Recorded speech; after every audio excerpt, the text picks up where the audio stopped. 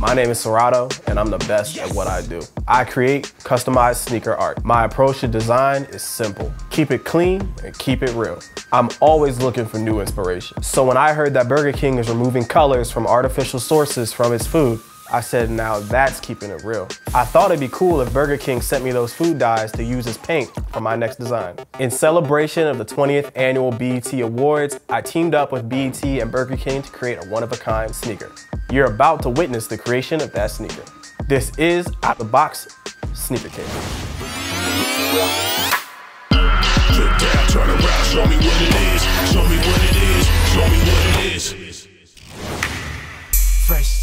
Fresh jeans, fresh kicks, okay, fresh jeans. Yep. So this project came around because I heard that Burger King was removing colors from artificial sources in their food, and I thought it'd be a dope idea to take these food dyes and use them as paint for a great design. All right, we're done with our taping. We got our stencils on the shoe, and we're ready to paint.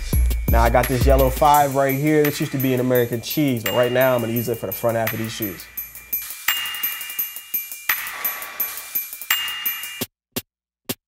All right, now the caramel is on the shoe. It's time for the red 40 to finish out the fade.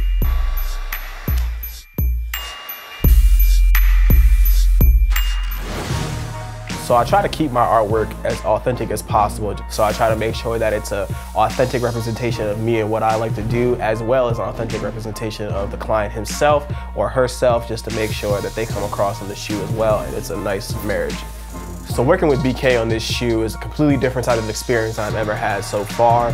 Dyes removed from food was a new thing for me, but I'm happy that they care that much and they're giving me new materials to work with. Um, the color palette that we're using for this is really, really unique as, I mean, they were made from dyes that were once in food. So the whole project is really different and I think each color tells its own story and helps me create a unique one-of-a-kind piece of work.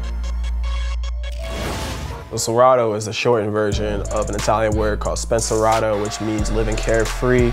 I had an old business partner who's an Italian guy. He came up with the name for me, so we just took that and rolled with it. And that living free uh, mantra plays into my, you know, creative process, just by allowing me to kind of be free with the designs, you know, kind of do what I feel like doing. So we just kind of try to be free with it. Knowing that my shoes are going to be revealed on the BET Awards 2020 is a surreal moment for me just because it's one of those things that you grow up watching, you grow up seeing that in the music videos and things like that, and you never think it's going to be actually you on those platforms, on the TV. So it's cool to be making these shoes for my homegirl, Parker McKenna. I think she's going to love them.